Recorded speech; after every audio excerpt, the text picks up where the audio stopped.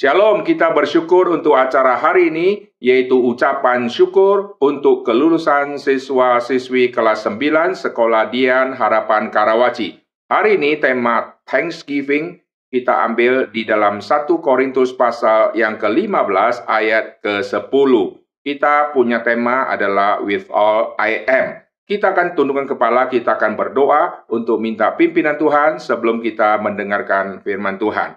Bapa di surga, kami berdoa untuk firman Tuhan yang akan disampaikan. Kami bersyukur untuk semua siswa-siswi yang Tuhan sudah pimpin dari awal studi hingga sampai hari ini, dan untuk semua guru-guru yang dengan setia mengajar anak-anak siswa, dan untuk masa depan anak-anak siswa yang akan melanjutkan studi di tingkat yang lebih tinggi lagi, sampai akhirnya mereka dipakai oleh Tuhan di masyarakat dan di gereja-gereja Tuhan Tuhan persiapkan mereka sejak di bangku sekolah. Mereka sudah mengerti prinsip-prinsip iman kekristenan dan mereka sudah mengerti rahasia di dalam iman kekristenan. Sehingga melalui iman kekristenan yang mereka miliki sejak mereka ada di bangku sekolah, mereka akan melakukan banyak perkara yang besar di waktu-waktu yang akan datang. Mereka akan melayani Tuhan dengan iman yang sejati, dengan perbuatan dan pelayanan yang sesuai dengan iman yang mereka miliki. Tuhan berkati firman Tuhan yang akan disampaikan dengar doa kami. Dalam nama Tuhan Yesus kami berdoa. Amin. Saudara sekalian, saya akan ajak saudara kita akan membaca diam 1 Korintus pasal yang ke-15. 1 Korintus pasal yang ke-15 ayat tema kita diambil dari ayat yang ke-10 tetapi saya akan bacakan dulu untuk kita menemukan konteks 1 Korintus pasal yang ke-15 ini. Saudara perhatikan diam 1 Korintus pasal yang ke-15, ini Paulus memulai tulisan di pasal 15 ini untuk mengingatkan Injil yang telah mereka terima, Injil yang sudah diberitakan oleh Paulus dan yang sudah diterima dan mereka sudah hidup teguh di dalam pemberitaan Injil tersebut dan di atas fondasi Injil tersebut. Lalu perhatikan inti dari Injil itu apa? Di 1 Korintus pasal yang ke-15 yaitu tentang Yesus yang mati di ayat ketiga. Sebab yang sangat penting telah kusampaikan kepadamu yaitu apa yang telah kuterima sendiri, yaitu bahwa Kristus telah mati karena dosa-dosa kita sesuai dengan kitab suci. Bahwa ia telah dikuburkan dan bahwa ia telah dibangkitkan pada hari ketiga sesuai kitab suci. Perhatikan, ini adalah pendahuluan yang sangat penting sebelum nanti kita baca ayat yang ke-10. Paulus ingin mengingatkan kepada semua orang yang menerima kitab ini, yaitu jemaat-jemaat di Korintus, mereka mengerti satu fondasi rahasia yang sangat penting, yaitu keselamatan di dalam Kristus. Lalu setelah Kristus sudah selesai di dalam hidupnya, yaitu sudah mati, sudah bangkit, lalu Yesus nanti akan naik ke sorga. Dan perhatikan, sebelum Yesus naik ke sorga, Yesus melakukan banyak hal yang sangat penting, dan ini disimpulkan oleh Paulus. Dan ini semua menjadi fondasi penting untuk kita nanti memahami ayat yang ke-10. Mari kita lihat setelah dia bicara, Yesus itu mati, Yesus itu dikubur, dan Yesus itu dibangkitkan. Di ayat keempat, bahwa ia telah dikuburkan dan bahwa ia telah dibangkitkan. Lalu lihat di ayat yang kelima, ia telah menampakkan diri kepada Kefas. Jadi perhatikan, Yesus yang sudah bangkit, dia menampakkan diri, di diliskan yang pertama adalah Kefas. Dan kemudian kepada kedua belas muridnya. Di sini mau memfokuskan mengenai si Petrus, lalu mau memfokuskan kepada tokoh-tokoh lain yang menjadi murid Tuhan Yesus, khususnya dari kalangan laki-laki. Perhatikan Kefas, Ayat ke-6, sesudah itu ia menampakkan diri kepada lebih dari 500 saudara sekaligus. Kebanyakan dari mereka masih hidup sampai sekarang, tetapi beberapa di antaranya telah meninggal. Selanjutnya ia menampakkan diri kepada Yakobus. Perhatikan nama-nama yang disebut di sini, yaitu Kefas, lalu Yakobus. Kemudian kepada semua rasul. Waktu sebut kepada semua rasul, dia tidak listkan daftar nama-nama rasul tersebut. Ayat yang ke-8, dan yang paling akhir dari semuanya ia menampakkan diri juga kepadaku. Sama seperti kepada anak yang lahir sebelum waktunya. Nanti saya akan jelaskan bagian ini. Kita lihat ayat ke-9. Karena aku adalah yang paling hina dari semua rasul, bahkan tidak layak disebut rasul, sebab aku telah menganiaya jemaat Allah. Ayat ke-10 kita baca sama-sama. Tetapi karena kasih karunia Allah, aku adalah sebagaimana aku ada sekarang. Dan kasih karunia yang dianugerahkannya kepadaku tidak sia-sia. Sebaliknya aku telah bekerja lebih keras daripada mereka semua. Tetapi bukannya aku, melainkan kasih karunia Allah yang menyertai aku. Perhatikan, Paulus mau sampaikan apa? Dia mau mengarahkan seluruh jemaat Tuhan yang ada di Korintus untuk mengingat betapa besarnya pengorbanan Tuhan Yesus. Lalu setelah pengorbanan Tuhan Yesus yang luar biasa itu, kita akan melihat Paulus melanjutkan tentang tema panggilan Tuhan Yesus. Waktu Yesus mati, murid-murid itu kecewa. Lalu waktu Yesus bangkit, Yesus bertemu dengan murid-murid untuk meyakinkan mereka kembali bahwa Yesus yang mati itulah sekarang sudah bangkit dan hidup kembali. Lalu kita melihat Paulus meliskan Kefas atau Simon Petrus sebagai yang nomor satu dan Paulus menempatkan dirinya adalah yang paling akhir. Mengapa seperti ini? Paulus adalah orang yang sangat mengerti anugerah Tuhan yang luar biasa. Waktu diliskan semua tokoh-tokoh yang sangat penting dimulai dari Kefas. Kefas atau Simon Petrus adalah pemimpin dari 12 rasul. Dan di antara semua rasul-rasul itu, Kefas atau Simon itu dianggap yang terutama. Oleh sebab itu, kita melihat waktu Paulus meliskan nama, dia liskan yang pertama, lalu dia liskan yang paling akhir. Yang pertama itu adalah Kefas, yang terakhir adalah dirinya. Dari cara dia meliskan dan menempatkan nama, lalu Kefas yang paling depan, dia yang paling belakang, dia mau menyatakan sesuatu. Lalu kita perhatikan apa yang dia mau nyatakan. Di dalam ayat yang ke-8, yang paling akhir dari semuanya, ia menampakkan diri juga kepadaku. Lalu dikasih keterangan, sama seperti anak yang lahir sebelum waktunya. Apa artinya ini? Paulus mengkaitkan dirinya seperti seorang yang dulunya mestinya harus diaborsi.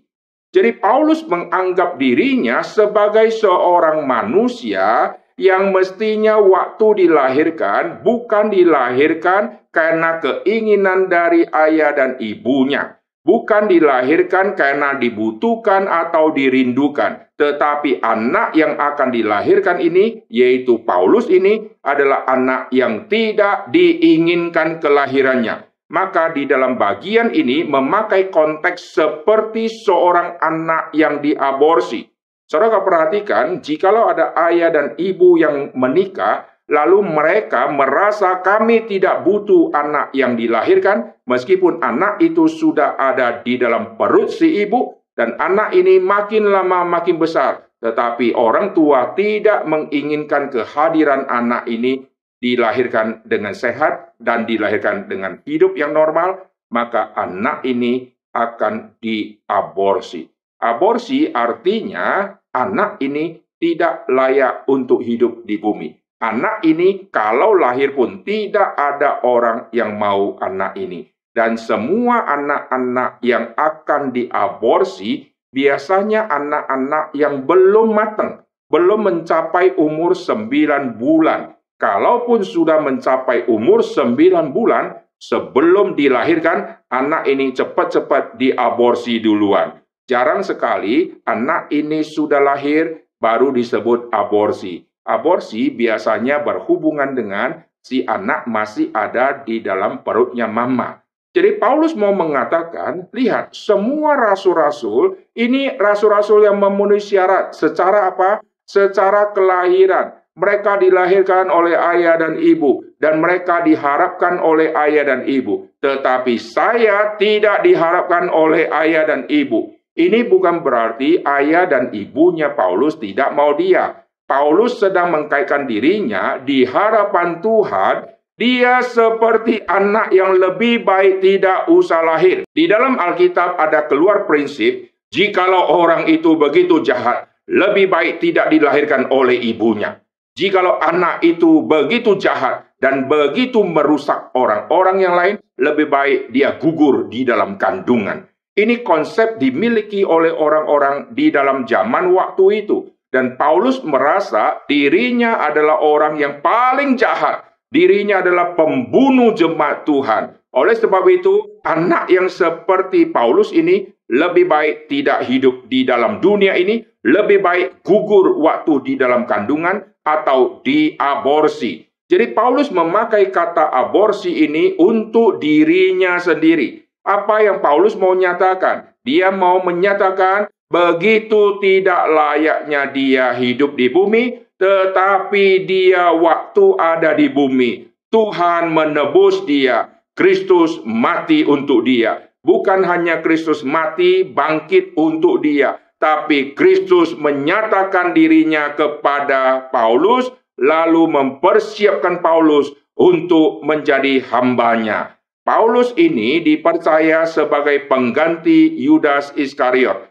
Kenapa? Karena 12 rasul ini adalah angka 12 yang Yesus pilih sendiri. 12 rasul mengikuti Tuhan Yesus. Waktu Yudas Iskariot mati, lalu rasul-rasul berkumpul. Waktu mereka berkumpul, mereka mempunyai ide, kita pakai cara undian. Maka waktu diundi, Matias yang terpilih. Tapi Matias tidak cocok masuk menjadi angka ke-12 untuk menggantikan Yudas Iskariot. Karena Matias bukan dipilih langsung oleh Yesus. Maka pengganti Yudas Iskariot harus dipilih langsung oleh Tuhan Yesus. Siapakah yang dipilih langsung oleh Tuhan Yesus? Paulus berkata, yang terakhir, dia menampakkan diri kepadaku Inilah perjalanan Paulus menuju ke Damsik, lalu diinstruksi oleh Kristus. Saulus, Saulus, mengapa engkau menganiaya aku? Lalu Yesus menetapkan dia untuk menjadi alat pilihan Tuhan untuk memberitakan nama Kristus sampai kepada bangsa-bangsa, kepada raja-raja. Dan Paulus menjadi rasul dan dia adalah yang terakhir. Yesus tidak lagi menampakkan diri memanggil siapa pun, setelah memanggil Saulus. Maka Saulus sadar, aku adalah yang paling akhir. Dia listkan nama tadi, Kefas yang pertama. Petrus adalah pemimpin 12 rasul. Lalu Paulus adalah yang paling akhir. Yang paling akhir ini dia anggap dirinya yang paling hina. Karena semua rasul backgroundnya baik-baik. Hanya dia yang backgroundnya pembunuh jemaat Tuhan orang yang rusak kayak begini lebih baik menjadi anak yang gugur di dalam kandungan. Lebih baik anak ini diaborsi, tidak usah dilahirkan. Paulus menyadari dosa yang begitu besar, sudah membunuh orang-orang percaya. Ini tidak mungkin lagi dia bisa hapus semua masa lalu dia. Tetapi karena anugerah Tuhan, dia diampuni dosanya, dia dibebaskan dari semua hukuman yang mestinya dia harus terima karena sudah menganiaya Kristus dan menganiaya umat Tuhan. Yesus pernah berkata, barang siapa membenci murid Tuhan Yesus, dia membenci aku duluan. Lalu waktu orang menganiaya orang percaya, dia ibarat sedang menganiaya Kristus. Maka Yesus berkata, Saulus, Saulus, mengapa engkau menganiaya aku? Oh, Saulus begitu susah. Begitu tertekan jiwanya, orang yang begitu jahat ini lebih baik tidak usah dilahirkan. Oleh sebab itu, Paulus keluarkan kata ini di ayat yang ke-8 tadi. Dan yang paling akhir dari semuanya, ia menampakkan diri juga kepadaku. Sama seperti kepada anak yang lahir sebelum waktunya. Anak yang diaborsi. Anak yang lahir sebelum waktunya biasanya lebih kecil. Seorang anak kalau dilahirkan prematur berarti belum sampai 9 bulan. Dia waktu lahir pasti ada kekurangan untuk bertahan hidup setengah mati. Harus dirawat dengan baik-baik, dijaga dengan baik-baik, dikasih vitamin yang cukup. Kalau tidak, anak ini nanti bertumbuh, mungkin nanti akan ada kelainan atau mungkin akan meninggal di dalam waktu-waktu tertentu. Paulus merasa dirinya adalah anak yang begitu jahat, tetapi dia diadopsi dan dia menjadi anak Allah. Itu yang membuat dia begitu senang. Itu yang membuat dia di dalam hidupnya tidak pernah melupakan Tuhan. Dan ingat, Paulus itu adalah orang yang menjadi rasul yang memecahkan rekor yang sangat banyak. Rekor apakah yang dia pecahkan? Paulus adalah satu-satunya rasul yang memiliki intelektual yang paling tinggi. Dia dilahirkan di Tarsus, Wilayah Tarsus adalah wilayah orang-orang yang mengerti filsafat-filsafat dunia. Dan dia dididik secara iman di bawah pengaruh Gamaliel. Gamaliel adalah ahli yang sangat terkenal di dalam zaman waktu dulu. Dan dia studi firman, studi menjadi seorang farisi dari masab yang paling keras, saudara. Banyak Farisi sudah begitu keras, tapi Paulus dari Farisi mashab yang paling keras. Ini dia punya iman tidak main-main, saudara. Dia bisa lulus, bisa menjadi pelayannya orang-orang Yahudi. Ini tidak main-main. Dia adalah orang yang sangat pintar dan bahkan kemungkinan besar dia adalah anggota Mahkamah Agama. Karena dia bisa leluasa masuk ke dunia Mahkamah Agama bisa mendapatkan surat rekomendasi dari Yerusalem untuk membunuh orang-orang Kristen dan dia adalah orang yang sangat disegani pada waktu dulu. Lalu apalagi yang Paulus memecahkan rekor? Paulus adalah penulis kitab suci yang paling banyak, Saudara. Berapa kitab yang dia tulis? Dia menulis kira-kira ada 13 kitab seorang yang begitu jahat, seorang pembunuh orang percaya, tetapi tangan dia yang pernah dia pakai untuk menyeret orang percaya, mengizinkan pembunuhan-pembunuhan kepada orang-orang percaya, menyaksikan Stefanus dimatikan. Dia ada di situ waktu itu. Orang yang seperti ini, tangannya harus dipotong oleh Tuhan. Tapi Tuhan memakai tangannya untuk menulis 13 kitab suci, 13 kitab di dalam perjanjian baru, saudara. Orang yang seperti ini yang mestinya harus diaborsi, mestinya harus gugur di dalam kandungan. Tapi Tuhan mampukan dia untuk dia nanti menulis 13 kitab di dalam perjanjian baru. Bukan hanya itu, tulis buku memang capek. Banyak orang sudah tulis buku, tidak mau melayani apalagi, karena dia sudah merasa waktunya hanya fokus untuk tulis. Tapi Paulus berbeda. Paulus tulis, betul-betul dia tulis 13 kitab, dan ini tidak gampang. Tetapi dia juga meluangkan waktu yang begitu banyak. Dia memecahkan rekor keliling kota dan desa, keliling provinsi demi provinsi. Dialah yang paling banyak, saudara. Tidak ada rasul mana pun yang mengalahkan si Paulus ini. Paulus begitu rajin. Tidak ada rasul yang mengalahkan dia. Dia mengunjungi kota-kota, desa-desa, provinsi-provinsi sampai menuju kepada Roma, saudara. Kenapa orang ini bisa punya kekuatan seperti ini?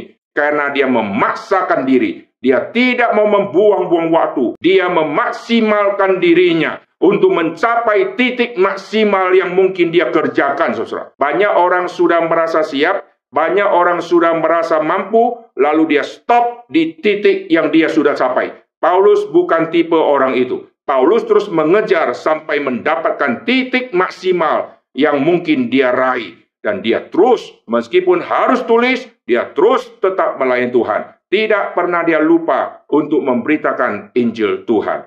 Dan Paulus adalah satu-satunya rasul yang keluar masuk sinagog-sinagog yang paling banyak dengan kota-kota yang terus berbeda, desa-desa yang terus berbeda. Ke kota mana dia kunjungi, dia akan masuk ke sinagog. Dan Paulus adalah satu-satunya yang mendapatkan rekan sekerja yang paling banyak. Maka kita lihat di dalam tulisan Paulus, di salam-salam dia, dia keluarkan semua nama-nama yang kita tidak pernah baca sebelumnya. Itulah orang-orang yang pernah dia layani. Itulah orang-orang yang diselamatkan melalui Injil keselamatan yang dia beritakan. Tidak ada rasul mana pun yang mempunyai catatan di dalam daftar nama yang begitu banyak dari orang-orang yang pernah dia menangkan. Meskipun pasti banyak rasul juga mengabarkan Injil, tapi Paulus adalah orang yang memecahkan rekor, saudara. Lalu Paulus adalah orang yang juga memecahkan rekor, yang paling banyak menderita dari provinsi ke provinsi, kota ke kota, desa ke desa. Yesus sangat menderita, tetapi Yesus menderita di wilayah tertentu. Paulus yang menderita, dia menderita sampai ke provinsi-provinsi. Yesus diutus untuk domba terhilang di Israel. Oleh sebab itu, wilayah pelayanan Tuhan Yesus tidak boleh pergi sampai terlalu jauh. Yesus pernah kunjungi Tirus, Sidon. Habis itu harus kembali lagi karena rute Tuhan Yesus sudah ditetapkan tidak boleh keluar jauh dari domba-domba yang ada di Israel. Tetapi Paulus lain. Paulus diutus selain kepada bangsa Yahudi. Dia diutus kepada bangsa-bangsa lain, kepada raja-raja. Oleh sebab itu, dia yang akan menembus ke titik yang paling jauh, saudara. Dan Paulus memecahkan rekor. Kakinya paling banyak berjejak. Baik di daratan, baik di lautan melalui kapal, baik di gunung di lembah, dia yang memecahkan rekor. Karena zaman dulu perjalanan darat semua dilalui dengan berjalan kaki, saudara. Orang yang kaya begini mestinya orang yang sangat tinggi prestasinya. Tapi Paulus waktu memperkenalkan diri, dia perkenalkan dirinya sebagai yang paling hina, sebagai yang paling kecil, saudara. Perhatikan di pasal yang ke-15 tadi, ayat yang ke-9. Karena aku adalah yang paling hina dari semua rasul, bahkan tidak layak disebut rasul, sebab aku telah menganiaya jemaat Allah. Dia menempatkan dirinya menjadi seorang yang tidak ada apanya. Semua prestasi, ilmu, semua yang dia dapat, dia anggap itu semuanya adalah sampah. Paulus pernah berkata, "Semuanya adalah sampah, tapi Kristuslah keuntunganku." Dan Paulus waktu menulis 1 Korintus pasal ke-15 ini, dia keluarkan satu rahasia yang sangat penting. Itulah tema kita hari ini, yaitu di ayat yang ke-10. Perhatikan di ayat yang ke-10. Tetapi karena kasih karunia Allah aku adalah sebagaimana aku ada sekarang. Dan kasih karunia dianugerahkan kepadaku tidak sia-sia. Sebaliknya aku telah bekerja lebih keras daripada mereka semua. Tetapi bukannya aku, melainkan kasih karunia Allah yang menyertai aku. Paulus kaitkan semua prestasi-prestasi yang dia dapatkan ini semua adalah kasih karunia. Bukan karena kehebatan dia, bukan karena kemampuan dia, bukan karena kesehatan dia, dia bisa mencapai semua prestasi-prestasi, tetapi karena kasih karunia Tuhan, saudara. Dan perhatikan rahasia yang sangat penting yang Paulus ajarkan kepada kita, yaitu mengingat dari mana kita berasal. Paulus mengkaitkan dengan dirinya seorang yang tidak layak hidup. Seorang yang harus lahir sebelumnya itu. Seorang yang harus dimatikan. Perhatikan di ayat ke-8. Seperti kepada anak yang lahir sebelum waktunya. Paulus mengkaitkan dirinya yang sudah begitu berprestasi kembali kepada masa-masa awal bagaimana dia masih ada di dalam kandungan. Ini adalah satu rahasia yang sangat penting kepada semua orang-orang yang sudah mencapai level prestasi yang tinggi. Engkau harus mengingat dari mana engkau berasal. Di dalam Alkitab kita melihat orang-orang yang rohani luar biasa. Mereka mengeluarkan rahasia-rahasia iman yang luar biasa. Salah satu poin, waktu mereka mengkaitkan diri mereka dengan asal mereka, di situlah kita menemukan rahasia kerohanian mereka yang begitu rendah hati. Apa yang mereka katakan? Abraham di dalam kejadian pasal yang ke-18. Waktu dia berkata-kata kepada Tuhan yang adalah malaikat Tuhan yang em besar tentang kasus Sodom dan Gomora itu, dia berkata kepada Tuhan, dia adalah seorang yang sudah konglomerat, tetapi dia merendahkan diri sampai begitu rendah dan dia berkata, "Aku ini hanya abu dan debu." Dia seorang yang sudah mencapai prestasi yang sangat tinggi. Harta sudah begitu banyak, kekayaan sudah begitu banyak, tetapi di hadapan Tuhan, dia ingat dia dari mana dulu berasal. Bukan dari Urkasdim, bukan dari kota-kota yang dia pernah kunjungi, tetapi dia dari debu dan tanah. Di dalam Mazmur pasal ke-22, Daud waktu menulis kitab Mazmur, Mazmur Daud. Dia keluarkan kalimat yang sangat indah. Aku ini hanyalah ulat.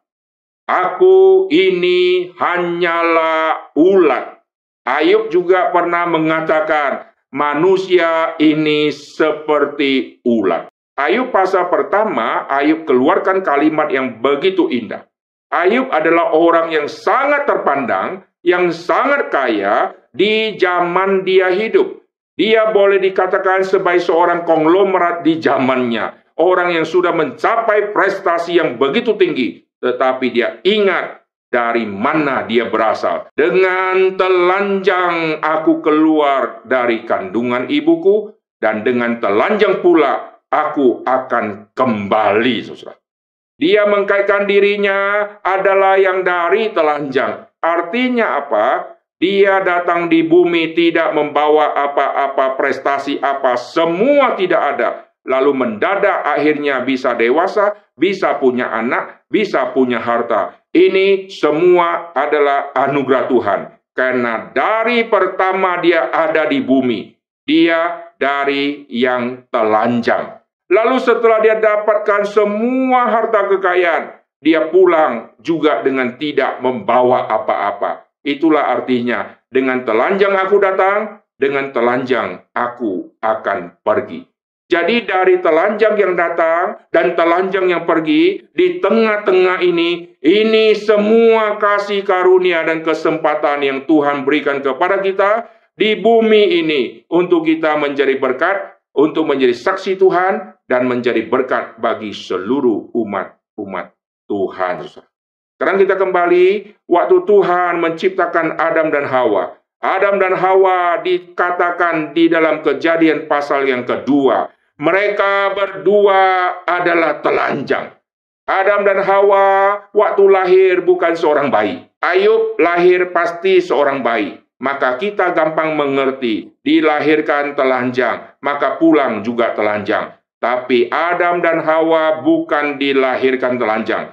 Adam dan Hawa diciptakan oleh Tuhan, sudah mampu berbicara, sudah mampu berjalan, sudah mampu menangkap firman Tuhan. Tanda petik, sudah pintar, saudara.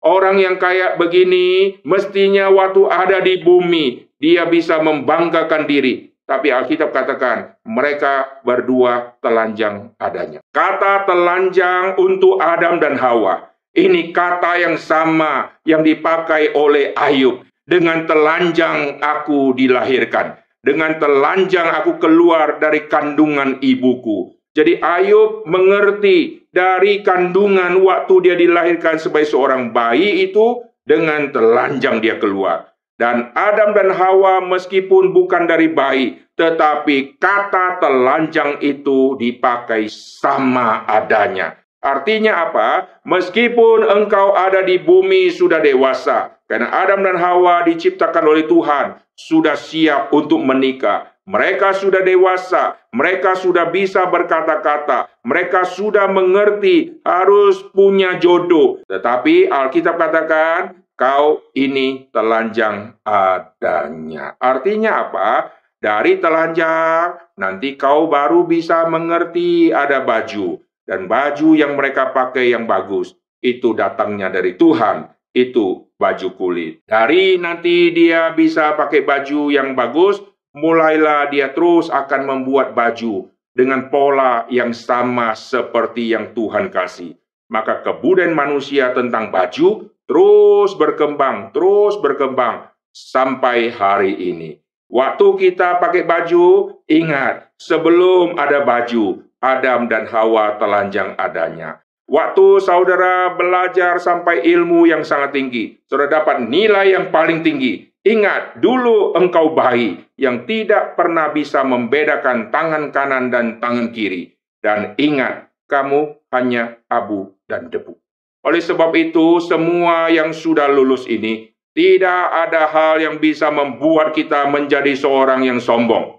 Saudara bisa mencapai prestasi yang tinggi, bagus. Semua prestasi yang tinggi untuk kemuliaan Tuhan. Sehingga kelak engkau bisa dipakai oleh Tuhan. Dengan kepintaran engkau, engkau melayani Tuhan dan menjadi hambanya Tuhan. Bukan menjadi tuan untuk mengatur semua. Tapi engkau harus menjadi contoh menjadi hamba dari semua. Kita yang sudah diselamatkan oleh Tuhan, ingat Paulus katakan, ingatlah apa yang pernah kuberitakan kepadamu dan yang telah kamu terima dan kamu teguh berdiri di dalamnya. Itu adalah Injil keselamatan. Inilah pesan yang paling penting, yaitu Injil yang diberitakan. Sekolah kalau tidak lagi kabarkan Injil. Guru-guru Kristen kalau tidak lagi kabarkan Injil, mereka hanya memindahkan ilmu-ilmu yang mereka terima, hanya pindahkan ke otak murid tanpa mempengaruhi hidup si murid. Guru harus siapkan diri untuk ambil kesempatan menangkan jiwa-jiwa, kabarkan Injil kepada para murid, sehingga murid-murid di bangku sekolah mereka mendengarkan Injil keselamatan, mereka menerima Injil keselamatan, dan mereka komit untuk hidup di dalam pemberitaan Injil tersebut, di dalam puasa Injil tersebut, dan kelak Tuhan juga memakai mereka untuk berbuah lebat yang sangat banyak. Sekarang kita kembali ke ayat ke-10, tetapi karena kasih karunia Allah, aku adalah sebagaimana aku ada sekarang, saudara. Apa yang aku miliki sekarang, Tuhan inilah saya. Bukan inilah saya dengan bajuku, prestasiku, ondel-dilku, ornamen-ornamen yang nempel di seluruh diri saya karena akibat prestasi yang saya raih. Itu semuanya adalah sampah. Seorang dokter sangat bangga kalau dia dapat sertifikat-sertifikat yang begitu banyak. Maka di ruang prakteknya, dia pasang semua sertifikat-sertifikat yang dia pernah raih. Sekolah juga sama, begitu bangga dengan medali-medali yang diraih oleh murid-muridnya. Maka dibuat kaca yang begitu besar dengan lemari yang begitu besar untuk taruh semua medali-medali yang begitu banyak. Semua medali-medali yang begitu banyak, kalau di Jakarta, semua bisa dibuat di Pasar Senen. Kita bayar berapa, kasih contoh, langsung jadi di dalam waktu yang cepat. Itu semua prestasi yang terlihat. Tetapi di hadapan Tuhan, ada yang Tuhan tuntut untuk kita kerjakan. Manusia lebih senang mencari prestasi di dalam dunia. Tetapi prestasi di hadapan Tuhan, banyak orang mengabaikan. Paulus adalah orang yang sudah mencapai level yang Tuhan tuntut itu. Maka di masa akhir dia, dia berkata, darahku sudah mulai dicurahkan. Aku telah mencapai garis. Harap semua siswa-siswa mengerti hal ini. Harap semua guru-guru juga mengerti. Hidup kita di dunia ini bisa ada ini karena kasih karunia. Kita berdosa di dunia. Kita harusnya sebagai anak gugur yang tidak layak hidup di bumi. Tapi Tuhan izinkan kita hidup Tuhan selamatkan kita, Tuhan adopsi kita, maka kita disebut anak-anak Allah. Oleh sebab itu, semua anak-anak Tuhan yang sudah diselamatkan oleh Tuhan, kalian harus ingat baik-baik, layanilah Tuhan di rumah Tuhan. Jangan lupakan Tuhan. Meskipun kalian sibuk di sekolah, kalian sibuk di pekerjaan, kalian terus mencari uang, kalian harus ingat semua yang kalian bisa dapat hanya karunia Tuhan semata-mata.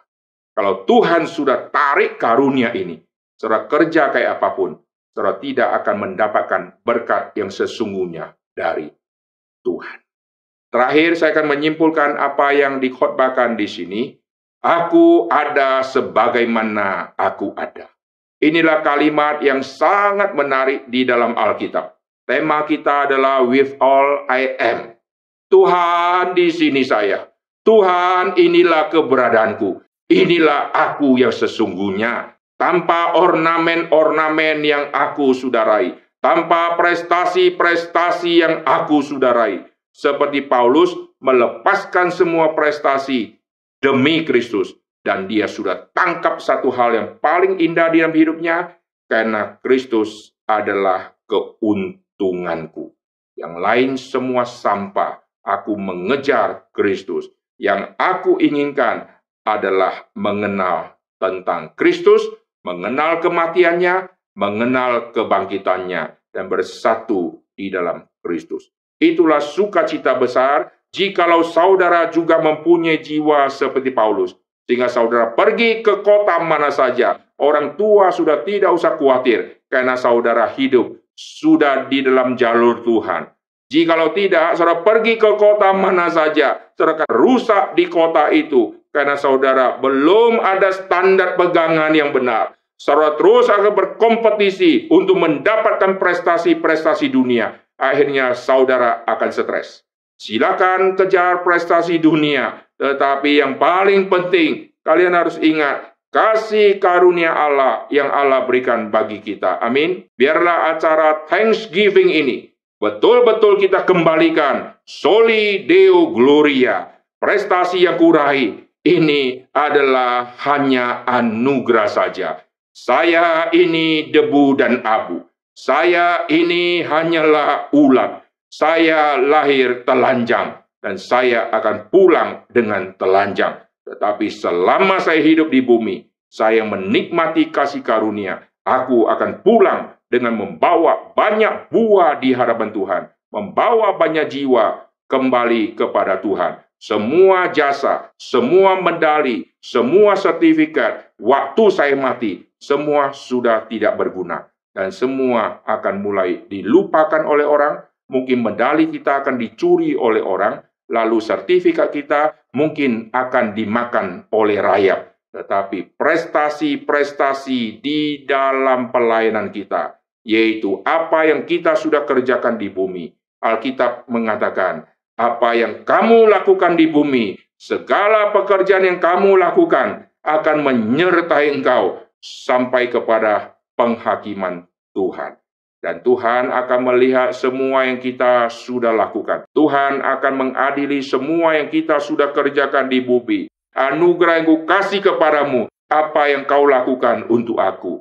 Prinsip Alkitab yang diberikan banyak, maka dituntut banyak. Oleh sebab itulah, hal itu yang membuat Paulus begitu rajin. Karena dia tahu, aku tidak layak terima anugerah, tapi Tuhan kasih anugerah yang besar. Maka 1 Korintus pasal 15 Paulus mencatat dia adalah orang yang begitu giat. Saya akan bacakan ayat ini, lalu kita akan tutup di dalam doa. Ayat ke-10, tetapi karena kasih karunia Allah aku adalah sebagaimana aku ada sekarang. Dan kasih karunia yang dianugerahkan kepadaku tidak sia-sia. Sebaliknya aku telah bekerja lebih keras daripada mereka semua. Tetapi bukannya aku, melainkan kasih karunia Allah yang menyertai aku. Dia mengerti diberi banyak, dituntut banyak. Dia sadar aku tidak layak hidup di bumi, tapi Tuhan layakkan dia. Aku tidak layak untuk disebut rasul, tapi aku menjadi rasul. Aku tidak layak untuk memberitakan firman Tuhan yang begitu mulia, untuk menyaksikan cinta kasih Kristus yang begitu mulia, karena aku pembunuh jemaat. Tetapi kasih karunia itulah yang memampukan aku untuk melakukan itu maka aku akan bekerja lebih giat untuk menyelesaikan semua tugas yang Tuhan berikan kepadaku. Kiranya firman Tuhan pada hari ini mengkuatkan kita semua. Mari kita berdoa kita tundukkan kepala. Bapa di surga, kami berterima kasih untuk firman Tuhan yang sudah kami dengarkan ini. Tuhan berkatilah setiap siswa-siswa yang sudah mendengarkan firman Tuhan. Berkati semua guru-guru yang sudah mengajar semua siswa-siswa. Berkatilah siapa saja yang bisa mendengarkan khotbah ini. Biar Tuhan kembali sadarkan kami dan ingatkan kami sekali lagi untuk kami mengerti betapa besarnya kasih karunia Tuhan yang Tuhan berikan kepada kami. Dan biarlah kami mengikuti teladan Paulus yang kami sudah baca ayat-ayat tadi untuk kami melakukan melayani Tuhan dengan lebih giat lagi karena semuanya ini adalah kasih karunia dari Allah. Dengar doa kami dalam nama Tuhan Yesus kami berdoa.